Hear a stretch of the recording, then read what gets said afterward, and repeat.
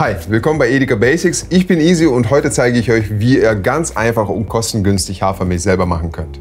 Was ihr dafür braucht, sind zwei Zutaten, die sicherlich viele von euch bereits als Vorrat parat haben. Ich habe hier Haferflocken extra zart, wahlweise glutenfrei, kaltes Wasser sowie einen Standmixer mit ordentlich Power und ein Nussmilchbeutel. Alternativ geht zum Abseilen auch ein feines Sieb oder sogar ein Geschirrtuch. Let's go! Schritt 1, Haferflocken vorbereiten. Mit zarten Haferflocken lässt sich direkt starten. Solltet ihr nur Körnige da haben, weicht diese am besten vor dem Mixen ca. 30 Minuten im Wasser auf. Es wird zwischen kernigen Großblatt und zarten Kleinblatt Haferflocken unterschieden. Ihr könnt statt Haferflocken sogar Haferkörner verwenden. Bei Haferkörnern handelt es sich schlichtweg um das ganze Haferkorn, aus dem zum Beispiel Haferflocken gemacht werden. Die Zubereitung dauert allerdings etwas länger. Hier sollten die Körner über Nacht mit der doppelten Menge an Wasser aufgeweicht werden. Schritt 2. Hafermilch mixen. Ich nehme für meine Hafermilch heute die zarten Haferflocken, davon 60 Gramm. Die Haferflocken gebe ich in ein Messbecher mit einem Liter kaltem Wasser. Solltet ihr keinen Standmixer haben, dann könnt ihr die Zutaten in einem hohen Rührbecher mit einem Pürierstab zerkleinern. Aber Vorsicht, es könnte etwas spritzen. Die Mischung püriert ihr im Standmixer auf hoher Stufe für 1 bis 2 Minuten, bis die Haferflocken gut zerkleinert sind. Achtung, das Wasser sollte beim Mixen nicht zu stark erwärmt werden, ansonsten bekommen wir eine Masse, die uns wohl eher an Haferschleim erinnert. Mit eisgekühltem Wasser lassen sich im Übrigen die Wartezeiten eines heißen Mixers vermeiden, ebenso wie bei uns mit unserem kalten Leitungswasser.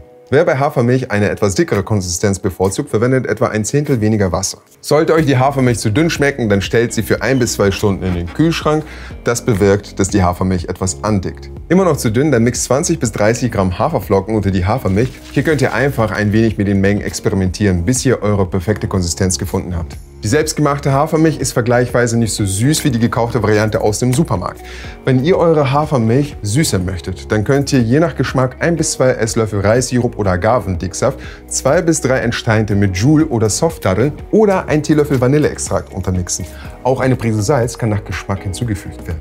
Experimentiert auch hier mal gerne mit Gewürzen wie Zimt oder Kakao für eine zusätzliche Geschmacksnote. Schritt 3. Hafermilch filtern. Gießt die Mischung durch einen Nussmilchbeutel, ein sehr feines Sieb oder ein Geschirrtuch und fangt die Flüssigkeit in einer Schüssel oder direkt in einer Flasche auf. Meine Empfehlung, investiert in einen Nussmilchbeutel, um eine reibungslose Filtration zu gewährleisten. Ich habe hier so einen Messbecher, dann nehme ich den Nussmilchbeutel und stülpe den quasi drüber. Dann gieße ich meine Masse direkt da rein Drückt vorsichtig die Hafermasse durch den Filter, um maximale Flüssigkeit herauszubekommen. Am Anfang geht es natürlich etwas schneller und später ist etwas Kraft notwendig. Das kann schon bis zu 10 Minuten dauern. Aber es lohnt sich. Mein Tipp zur Resteverwertung. Die zurückgebliebene Hafermasse kann in Smoothies, in Porridge oder im Müsli gemischt werden, um die Nährstoffe weiterzuverwenden. Schritt 4. Hafermilch lagern. Verschließt die selbstgemachte Hafermilch in luftdichte Behälter oder Flaschen. Das Behältnis muss nicht sterilisiert sein. Es reicht, wenn ihr die Flasche oder den Behälter vorher heiß ausgespült habt.